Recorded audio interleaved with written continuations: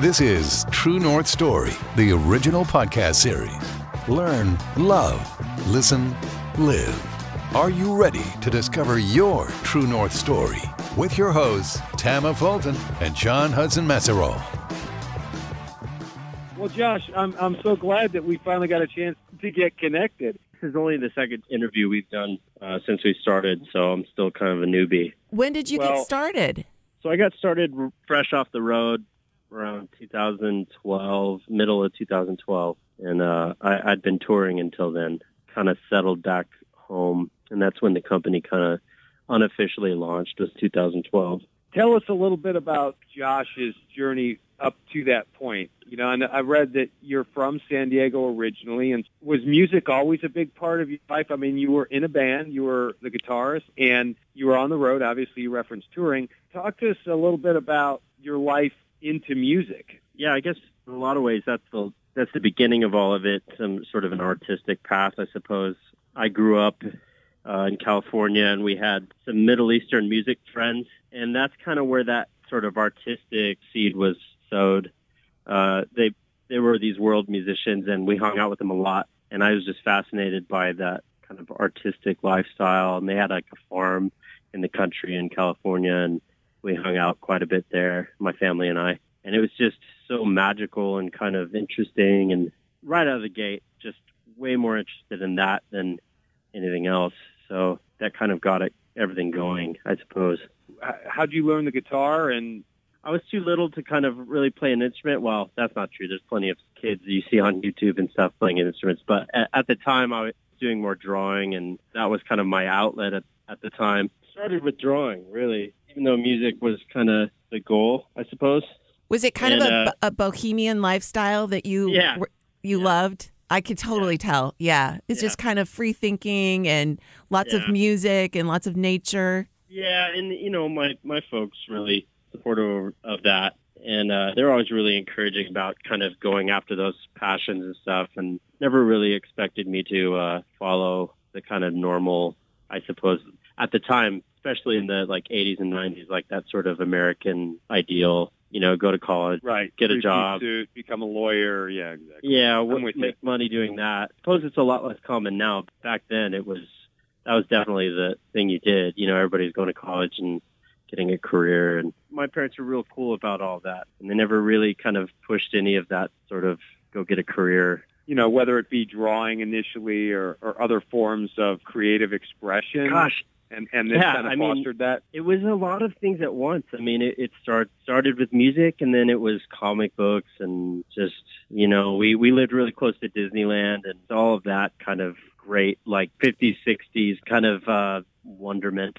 I suppose as a, as a kid growing up in California, going there and just kind of, I don't know, not wanting to live a normal life, I suppose, even when I was little, just kind of not being interested in it. I didn't know what it was at the time, I'm sure, but as I got older, it started becoming more apparent, I suppose. So yeah, uh, that was definitely the, the music, sort of Middle Eastern music and, and bohemian lifestyle was really um, alluring right out of the gate. I guess it just sort of branched off into different areas after that. It was kind of just which direction am I going to go with it? Yeah, it was all enticing. So when did you pick up the guitar? When did that become something that you wanted to do? You know, my mom, she was the one that actually told me that I should.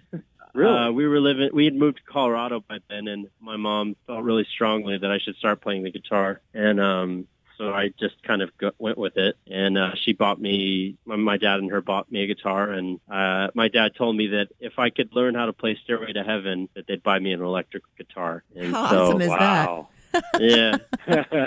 Those are some supportive parents, Josh. Oh, yeah. You know, you know, most parents are like, uh, you know, creative. What you want to be a musician, a painter, a writer? Get out of here. Go get, you know, Yeah. Get a trade. Yeah. Well, my dad was uh he was in the Vietnam War and he was a he grew up with, you know, Black Sabbath and Led Zeppelin and and all that. It was really important to him and I think he was just excited to have a son that was even interested in it. I think that was like one of his big opportunities was like, oh man, you know, my kid's going to get into the same stuff I was into and I think for a lot of fathers, not I don't know myself, but I imagine for a lot of fathers that's kind of a big thing. Guitar Like a common, was kind a common interest area that that you yeah, be like. something you could talk about, something you can connect on. So did you learn yeah. to play Stairway to Heaven? And I did. Did you get the electric guitar? Was, the, it was literally the first uh, first song I ever learned how to play was Stairway because I wanted an electric. I wanted an electric guitar. I could use distortion. Oh, that's awesome. I didn't know how to play chords.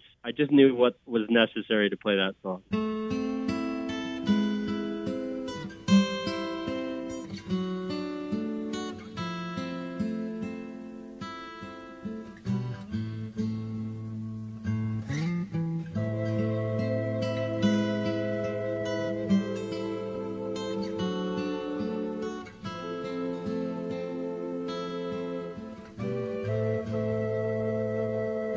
Did you get together with friends and kind of jam and have a garage band, or how did that start? Yeah, I started writing my own songs right away, and I'm I was a bit arrogant, I think, now that I look back. But um, I just really was eager to be creative and and make other things, I suppose, things that didn't exist. And uh, I wasn't very good, but by high school, so probably what eight or nine years after. Well, no, maybe not that much, but seven or eight years after I uh, started playing, got a, some buddies together and we started like a ska punk band, which was, you know, that was the thing at the time. It was kind of a popular genre back then. Dating myself, but Today, music today, I don't even know if there is a genre. I don't even know what you know. I mean, Uh, not yeah. to not to rag it out, but you know, no, it's kind of like true. it's true. It was almost more definable. I mean, even then it was not very definable, but it's more definable than now. It's kind of exhausting now. I, I don't even know what, I don't even bother anymore. you know, it's like it's so tightly controlled of what can and can't be played, you know, within the system of a certain genre of music that you're not you're getting the same thing over and over or you're getting new music that all sounds the same. Uh, we talked to a musician, James Otto, earlier in one of the podcasts, and, and he was talking about songwriters and how that's a dying art form in Nashville. And, Yeah. you know, that's just, it's really sad. And it makes me think because I, I had read earlier about the best and worst thing about being a creative. And I, lo- I Hmm. love the answer that you, that you gave in there, which that you're not a big admirer of this world and, and of this generation. And I just, uh, you know, I wanted you to kind of elaborate on that just a little bit. I don't think that that's anything new. I kind of feel like anybody kind of a broody artist type probably feels that way most of the time about the generation that they live in. Like they're out of, they're not in the right bot or they're, they're not surrounded by the You were the born right too late. I guess. I, I mean, I don't think that it's anything new. I think that that's just how it goes. You long for something more simple or or you're you're waiting for everybody to to kind of get on board or or on the other hand you're sick of everybody getting on board. I don't know. I, you just whatever Right. it is you you just wish there was something else. And i know for me in particular i'm of that kind of ilk that wishes that things were lower and simpler and i don't know if that's cool or not but that's how i feel. And i, I know a lot of i've got a lot of buddies who feel the same way. I just wish that that things weren't so loud and so much noise and so much going on and it's and it's impossible to keep up with. And and especially running a business it's it's hard not to. And I do my best to only do what's necessary to function and pay bills. But other than that I just I, I wish that I could just disconnect. And I, I I don't think that I'm the only one. I think there's a lot of people that feel that way. To to go off of what you said yeah I just uh I, I don't know. I just wish I wish things were quieter. I wish they were simpler. I wish that there weren't so many people shouting all the time. And How did you go from touring and being a musician and being on the road to kind of settling down and honing an amazing craft? uh, there's, thank you, first of all. Uh, there's kind of this big gap of time, and I'll really just, I'm just going to kind of paraphrase, but uh, basically it was this, this huge journey of trying different creative outlets and being scared that I was, I don't know, I don't know what, what happened along the way, but I was scared that it wasn't going to work. I, I guess I was doubting myself in a lot of ways for a long time. And uh, long story short, there came a moment where I was living in a smaller city in Colorado, and the chance happened to move to Denver. And I, I kind of grown up in a lot of either the country in California or small town in Colorado, and the chance happened where a friend told me that I was out of my mind and I needed to move to a bigger city.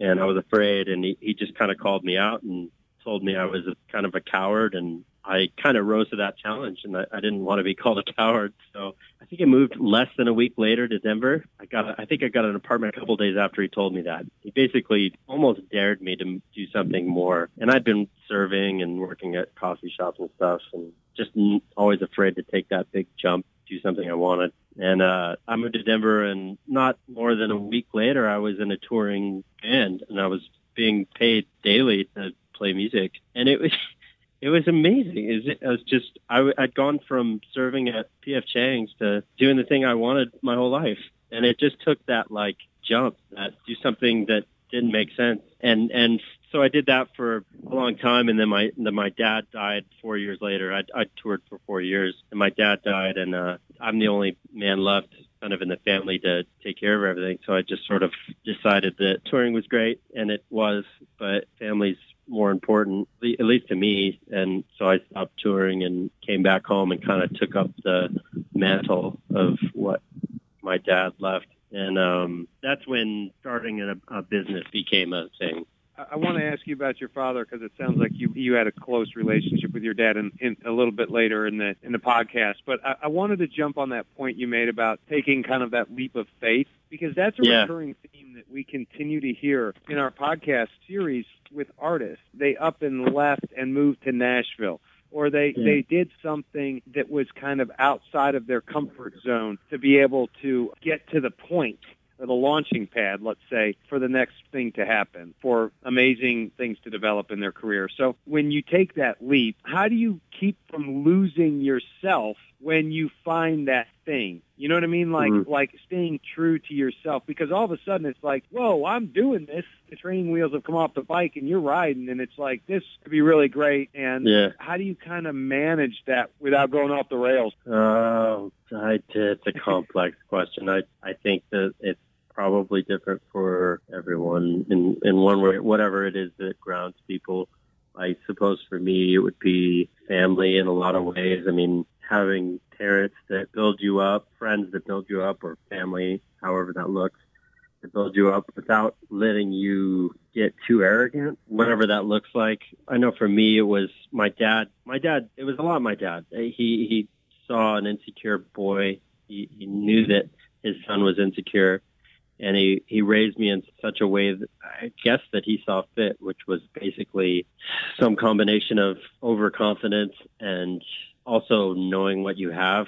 I guess I'm an only child, so I, I think it was really apparent that they had to do a lot of work on me as far as to, how to raise me to be brave, but also be thankful. And yeah, so all of those little nuances of, of parenting. I'm just very fortunate that I had a decent parent. And, uh, for, for me, that's what it was. It was my, my dad raising me to be strong and almost overconfident, but at the same time, knowing what I have and, and not taking advantage of it. I hope that makes sense. I mean, I think it was mostly just my parents trying to raise me to not be an asshole.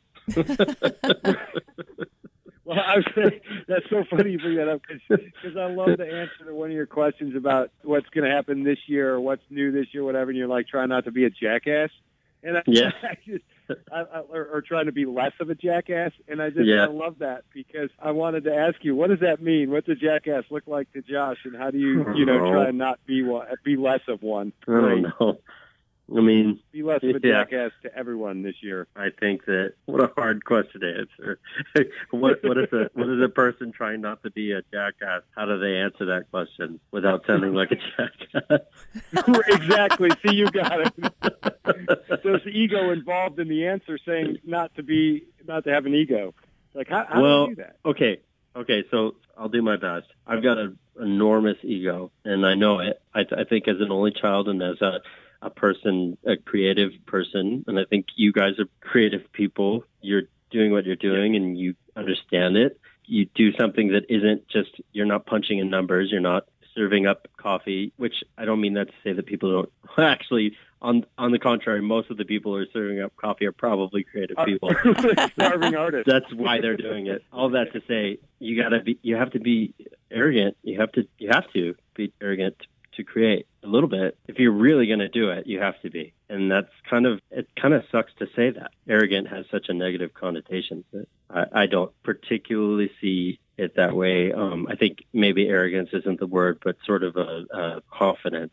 Confidence would be the nice way to say arrogant. Confidence in doing what you think is good and following through. So it's tricky to, to be able to juggle that kind of amount of confidence it takes to build something, play something, write something, and put it out, and then not feel superior to to the, to the people that aren't doing that. That's a tricky thing to do. Really important though, because because people see right through it all across the board. Everybody sees through it. They may not necessarily disapprove, but everybody sees it. Everybody knows when somebody's being a pompous jerk or, or when they think too much of themselves. It's, it's, I think people are really perceptive and it comes through on stage, and it comes through on word, and it comes through in your craft. And I know especially like we always talked about it on tour or an arrogant person or when everybody's not getting along, the crowd is really perceptive of what's happening on stage. And it's what, that's why it was really important for us to all have really good relationships, to all stay grounded, because it, we knew that it, that people were smart. We knew that everybody in the crowd knew what was going on on stage. We could kind of pretend all we wanted, but it was really important to really actually be. We need to be passionate. We need to believe what we were doing. We need to be close. We needed whatever arguments we had. We needed to resolve. It was all very vital in making that experience good because I think people are receptive. I know some people would argue, but they're more perceptive than people give them credit for. And so, the, whatever the consumer, the the concert goer, the whatever, I, I think they actually really do feel what's happening. And I think it's really important to take that into account of what you're putting out. I think you, you need to do it with an integrity. Almost like an authenticity, right? And that would be true of your of your business. Um, Sorry, I'm taking a couple swigs of rum. Oh, please do. So, why a flask? All right. So, to get kind of to get right to where we are now, my my dad got me a flask when I was 18. I know for him that was kind of a rite of passage. I guess I think I think his dad got him a flask when he was around 18. I don't know. I always saw it as this sort of symbol of uh, manhood. I don't. I'm not sure it is, but that's kind of how I saw it, and it always really kind of resounded with me as far as like a, a thing that you give somebody. This flask is sort of like uh, just like a token of love, of friendship, of camaraderie. I know that that's how I saw it. Do you, you still know, have I, that flask from your dad? Oh yeah, yeah, absolutely. It's on a shelf alongside his flask, which I inherited when he passed away. And wow. Yeah. That's pretty yeah, cool. He has a flask with his name on it and his birth year. And I have one with my name on it, my birth year. And we don't we don't make one like that, but but that kind of sort of heirloom idea was was what spawned the flask concept. So were you interested in working with metals or what did you do when you said, "Hey, I think I'd like to make a flask"? So in between playing music and doing other things, I was uh, a muralist and a glass etch artist. So I was doing front doors and, and transoms and custom artwork for homes and things like that. So murals, pantry doors, those sorts of things. I, I was learning how to etch glass. So I took those principles and I, I incorporated them into um, metal etching, and they're very similar. And uh, I, I think I made a birthday flask for our tour manager, and uh, it was like a octopus flask. I'd got some cheap flask from like Walmart or something like that, and I'd etched it and kind of customized it, and he he loved it. That's how that kind of came about. It, it was just a kind of a DIY gift, and and it sort of turned into something else slowly. Well, in full disclosure, Tama and I each have one of your flasks. Do you? Yeah, we do. That we both feel oh. speaks to us on a deeper sense. She has yeah. the fall, and we're going to make our audiences go find out, figure out which ones these are. Yeah. And uh, and I have the misbehaving one, which oh cool. Just yeah, the minute I saw that, I'm I like, that because as a, as classic film fans, you can yeah. hear the jazz music. Just yeah. when I look at it, you can hear the music. You know what I mean? It's like yeah, it's like it's right you know, there. To kind of bounce off of that, I was inspired for that specific flask from the movie uh, Memphis Belle. Right. Yeah, sure. I don't know if you guys ever seen that movie. I loved that movie when I was a kid, and and that's kind of when I when I started making fuss. That's what movie inspired that. Was that from the nose art of the World yeah, War II nose aircraft? art specifically nose Yeah. art. I, I started studying World War II sort of history, and I have a lot of World War II books, and uh, that's Right. what inspired that specific class was the sort of irreverence of what was ahead. That we're probably Yeah. going to die, but we might as well have a great time. And there's something about that that really It's, resounded it's almost, with Josh, me. It's almost like knowing who you are in the face of something that is potentially life-ending. It's Yeah. like we're going to go in and what happens happens kind of thing. Yeah, I mean, Tam and I are both huge classic film Yeah. lovers of all genres and all eras of classic film. But Yeah. particularly, we love film noir, which is is mostly in the 40s and early 50s. And love it. but I love Silents and Pre-Code, and we love all of it. True North Stories, meant to inspire, encourage, motivate, and offer hope. And now, back to the program.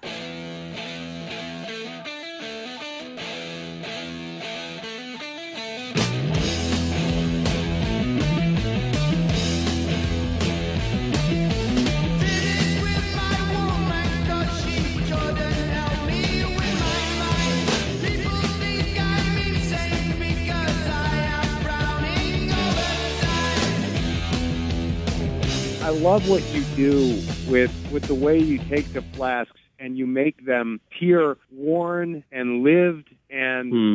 authentic, but not fake. Not that you're trying so hard to create that feeling that it Mm. goes over too far or over the top. Yeah. It, it- it's like something that you could have gotten from a third or fourth generation, given to you, Yeah. passed down as an heirloom, and it just feels right. I have a you have a real talent. Thank you, thank you. I have a uh, a double barrel shotgun. My grandfather owned, and then my dad owned it. Now I own it, and uh, something about that kind of heritage is really important to me. And and I suppose that's kind of something in that spirit is where we get our aesthetic. All the all the flats are they have that like rat rod kind of uh, sitting in the basement vibe. It's definitely not easy to to achieve it without making it look cheap. We we, we work really hard on it, and yeah, it's it's meant to kind of have a, a certain style. It's intentional that hot rod kind of feel. But yeah, in that spirit, there's there's something very intentional. We we really love that era specifically like 30s and 40s it's really really dear to us and um and we just wanted to kind of pay homage to that uh that feeling that whatever it is the romance of that era that's just really where all of our stuff comes from is is that I don't know they, that the the romance of an era where they like really like they didn't know what was going to happen they didn't know if this was it and I feel like a lot of my peers and a lot of this generation we're we're starting to get to that point where where we're starting to wonder what what's going to happen, and, and I feel like there's kind of a, a parallel right now. Where we don't really have anything. We're we don't have a World War II, but we're getting to that point where we're starting to wonder, like, is this? How can we go further? Wh- What's happening to us? And and uh, I think there's a, there's actually a lot of um, sympathetic feelings to those bygone eras, and and I, I think that's why there's so many young men and women that I guess they want to sympathize with it. They want to they want to know what that must feel like. To, they want to care about where they are, and um, I, I guess that's that's where we got our aesthetic is is just really wanting to be passionate about our lives and our families and our friends, and I guess being noble, being honorable. kind of like almost like your individuality of, of who you Yeah. are and what you stand for and speak to the importance of, of listening to all voices but yet knowing what your own is When you were talking about your company and your flasks and your designs, you kept using the word we. And I know that you and your wife uh, work together on these projects and these beautiful things. How did you guys meet? my wife and I we met through a mutual friend of ours, and uh, at the time I was a pretty heavy drunk, and so I kind of am, am embarrassed when I when I first met her because the first couple of times I met her, I think I was probably crying and drinking a lot of whiskey and smoking a ton. it's it's embarrassing, but it's true. it's the life of a it's the life of a touring musician I well, yeah, yeah. The the band I was in, we were they still are uh, primarily Christian group, but uh, drinking wasn't discouraged. It was encouraged on some level. It was great experience and uh, they're beautiful people. But yeah, I, I we we were drinking a lot of whiskey on the road, and and it was it was a wonderful time. But but getting off the road, dad dying, and and all of that, all of the things that I kind of did casually became very, very saturated. So I was drinking. I, I was drinking casually before, but then I was drinking professionally almost. And uh, so we when we met, that was a mess.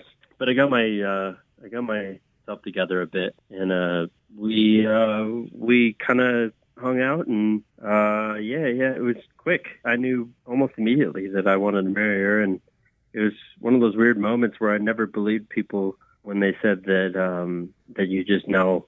I always thought that was just a thing that people said, but when I met her, it was it was that, which is kind of humbling, I guess. You probably work really well together. She must be really artistic and creative like you are. She is, but more than anything, she's less erratic. Keeps you grounded a little bit. Absolutely. I'm kind of without a rudder most of the time, and um, she's just she's just solid she's solid as a rock. And I don't think that as a company we would be where we are if she wasn't. I, I knew I always wanted to marry a woman that, that would um, be able to come alongside me and kind of be a great partner, not just as a wife, but as a friend, as a confidant, as somebody who could speak into my life, that I could speak into their life, was always really important to me. And and she was all those things, and it was very apparent. And um, it, it works really well. And, in business, uh, we work well together. We we make flasks every day, and when we're not making flasks, we're renovating houses and doing all that. And we work really well together. And it's because she's so grounded and so solid. I kind of go off the tracks day in day out but but she's very very very solid and do you guys do designs together too yeah, yeah, we do. She gets ideas, I get ideas, and I trust her implicitly, and um, I'll kind of get these whims and I'll make a design. And she's definitely the last sort of checkpoint before something goes out. And she'll remind me if I'm being lazy, or she'll remind me if I'm cutting corners. And it's really helpful. That's really wow. cool. What a great partnership you guys have. Mm-hmm. Agreed. I promised I would ask about your dad. And that's the last heavy question, and then we can go into just some quick, fun, interesting stuff. Yeah, just, sure. Uh, you mentioned, you know, um, when somebody asked you about a mantra or a motto that you live by, you said every day becoming like the man my dad was. Yeah. And that just really hit me because my dad was 50 when I was born, uh-huh. and I didn't really understand my dad and where he was coming from until I was much older. And he yeah. was gone at that yeah. time. But yeah. you know, and so I just can you share just a little bit about what about your dad you aspire to and why? Uh, it's um, sorry. No, I I just got emotional myself. So, yeah.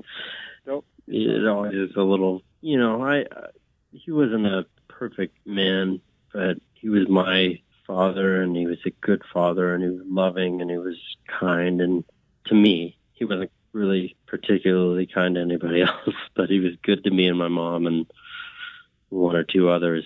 So I've I've long felt that my father did everything he could to put the best parts of him into his son, and he, he wasn't a perfect man, but he, but he did his best to put the best qualities that he could into his son, and he raised me that way. To kind of go off of what you just said, I, it took me a while to recognize that. I I got older and I realized what he was doing. I realized that he wanted to improve on the kind of person he was. He wanted to improve the kind of man he was. And he had a son and he had that opportunity. And I'm not sure I lived up to that. And I'm not sure that I will ever live up to that. But I know that I want to. And I know that he inspired me to want to. So I want to be a good husband. I want to be a good man. I want to live with passion. I want to live with integrity. I want to fight for what I think is important. It's, it's, it's all these sort of dramatic principles, but they should be dramatic. I think that they should be the sort of things that we should all want. I think we do. And that's the kind of son he wanted to raise. He wanted to raise a better version of what he was. And I'm not a father, but I, I hope to continue what he wanted for me when I have a son or a daughter or become a father and became a parent once he wasn't around anymore. I wish I could talk to him about it, but I can't. And I, I just now I just want to make him proud and and and say the things that I wish that I could have when he was alive. And I think I did my best, but I think that's what he wanted. He wanted me to be a good man, and I'm not a great man, but I I'm working on it. So uh, yeah. Well, I think that he just heard you. And I think yeah. that a whole lot of people appreciate those words, Josh. That's it's very, very powerful. Very powerful. I want to ask you just quickly, uh, Sneerwell, where'd that come from? so on tour you get real bored, which is you'd be surprised, but there's miles and miles and miles of nothing and you just sit on a bus and you run out of things to joke about and you run out of things to watch and video games to play and you just kind of start doing some real weird stuff. And uh, we would dance with boxes on our heads and just just all the dumb antics. And uh, I would do this weird character where I would curl my mustache and I'd start doing this sort of, um, I guess like uh, like a real weird dastardly kind of character. and I, I I'd kind of get up on the on the benches and and on the tables and I'd put on my hats and kind of slink around, and everybody ended up calling that character the Sneerwell. Oh, and it was just this sort of like, uh, you know, the the the character, the archetype that like people to train tracks and stuff. Right. Yeah. Like Dudley Do Right, and yeah, yeah, exactly. Yeah, that I don't know what his name is. Dick Dastardly, I think. Yeah, from the cartoon. that's his name. Yeah, that sort of slinky character, and and uh, his name was Balthazar the Sneerwell according to character, just what the things we make up is. There's a there's a hundred stories, but that was that was that character, and it came to name the company. I felt right. I guess it felt like a good sound. It sounded right. Yeah. I don't know. It, it's silly, but I just didn't want to. I just didn't want to name the company something cool, and I don't think that our name is cool. I think it's silly. I, I, I think it's meant to be. I don't. I, I I get tired of cool things. Everything's so cool all the time, and it's just boring. And I just wanted something that sounded kind of, I don't know, silly. Well, it's definitely memorable. I'll tell you that. So, and yeah, and you're a connoisseur, obviously, of uh, different liquors. And is bourbon your uh, go-to, or whiskey, or rum? What what do you what do you like to put in your flask? Oh, uh, so my my palate isn't very good. I don't think. Uh, my dad was always giving uh, wild turkey. Uh huh. Okay. and uh, and I think that's kind of like uh, I'm trying to think of a like a good comparison, but it's kind of like just like just going full throttle, like no subtleties, no nuances. It's just just really, really, really angry whiskey, and uh, that's what I drank for years. Uh huh. One turkey with no water. So Ouch. when it, when everybody started like oh, try this whiskey, try this. Oh, do this. It's got notes of blah blah blah. It was kind of like, I guess I don't know. It would be like drinking moonshine and then, oh no, but try this actual whiskey. Oh no, I'm used to drinking things out of toilets. Not to say that wild turkey's that, but but just that same kind of like it's like burn, a moonshine burn your kind throat. of thing. Exactly. Yeah, like this is not the point. The point is that life's really hard and I want to drink something and hang out for a while that's not. I, I really love a good whiskey now. I've gotten palate's gotten better, but for a long time I was like, man, this doesn't taste like anything. Here, try this wild turkey. Oh, And, that's uh, funny. So what? So yeah. what is your go-to bourbon now? I'm assuming it's not Wild Turkey anymore, You know, or maybe it is. half the time, half the time it is. Oh, that's hilarious, now I just kind, now I just kind of feel like it's rock and roll. But uh no, we drink a lot of um local guys here. They're doing uh Tin Cup and uh Laws. We're really big fans Right. of those guys. And they're really cool. oh, that's good to Uh, know. Trent- yeah, yeah, cool We've got guys. some Tin Cup. We've been talking about some Breckenridge too. I'm not sure. I've heard good Yeah. things about Breckenridge. I mean, we're real lucky. I mean, Denver's just boozing it up. they just they just know what they're doing. I feel like if you want a substance and you want to have it, Denver's a good place to, to get it. I mean, whether it's beer, booze, or what have you. But Breckenridge is a great uh, Tin Cup, Laws, Stranahan's still great. They got, I think they got bought by uh, Patron, but it's the same product, and they're just a killer product. Tell us a little bit about uh, the ink, Josh. I'm trying to get Tama to uh, to commit. I've got one and a story around my ink on my left inner wrist, but I know Hmm. you've got a lot of artwork done on your body. So what what's your favorite and why? My favorite tattoo is uh, they're, they're my fingers. So I've got my parents' initials on my right hand, and I've got my dad's birthday on my left, my four knuckles on my left hand. And everybody thinks that it says 1946. Everybody's like, "You're not born You're not in that old. 1946." Yeah. I'm like, "Yeah, I know." It's not your birthday. Yeah, no kidding. Yeah, those are my two favorite. I've got tattoos. I've got good ones and bad ones all over the place. I mean, from touring, you know, you kind of gotta you get a couple days off and get a get some work done. It's become so prevalent. It's almost it, it doesn't mean anything anymore. It's just like getting your hair done or your. Do you have plans for a new ink? I don't. I'm too busy Making flasks. making flasks and renovating houses that I can't afford it anymore. It's still cool and I still love it, but Now I that it's the these- thing and Yeah. everybody's doing it, you're like, ah, I'm not going to be there anymore. That's not me anymore. Yeah, I hear Yeah. you. I hear you, I Josh. suppose used to, you know, you know, when you when I was a kid and I I was making, I, I my first job was I was the Red Robin bird, which I don't think is a thing anymore. But back back when I was a kid, they had to dress up like a red robin, and you'd walk around the restaurant and shake kids' hands and stuff like that. I was making nine dollars an hour, and uh, I just didn't have anything to do with the money, so I would like just buy musical instruments and CDs, and you know, you get you get older and you, you have all these things to pay for, and I can't can't justify it anymore. I've got all these great little things on me that kind of reflect the time in my life where it was a little bit simpler, I suppose. well, if people Wow. want to find a Sneerwell flask. Where do they go? Well, in Seattle, which is where you guys are, right? Yep. Uh, Lucca Great Finds, place in Ballard. Very cool neighborhood. Very yeah, artsy. We, God, we love it over there. They carry us. And then if you're not in Seattle, then uh, the always, you can get stuff there. But, but we really like it when people can make it into a shop. We get less of a cut, but it's really important. What's good for the goose is good for the gander. So it's really important for us. when you see them. Yeah. You know, and the and the packaging and every, it's just like it takes it up even higher than it already is. So I, I totally get that wanting to Yeah. wanting people to experience that in person. Yeah, it's different. You get to pick it. Uh, I mean, do our Mhm. best to send the best flask out online sales. But you know, if you if you go to if you get a chance and you can go to a store and you can pick out, they all look different. Is there one design? You have tons of awesome designs, and they do all speak to different people for different reasons. Is Yeah, there thanks. one that seems to sell the best over the other? Um, you know, I wish that I could say there was, but there's a few designs that sell quite a bit. But I did. It, it also always remarkable to um, everybody likes something different, and that's kind of. I guess that's kind of the point. We don't Yeah. really have a bestseller. It's everybody kind of latches onto a certain aesthetic, a certain time period, a certain art style. You know, we bounce between colonial and uh, you know World War II, and then like more like ethereal and kind of whimsical stuff, designs. Yeah, I, I don't think there is one. I I think it's just I, I I really don't. I think the Hellhound is probably the closest thing to a bestseller we have.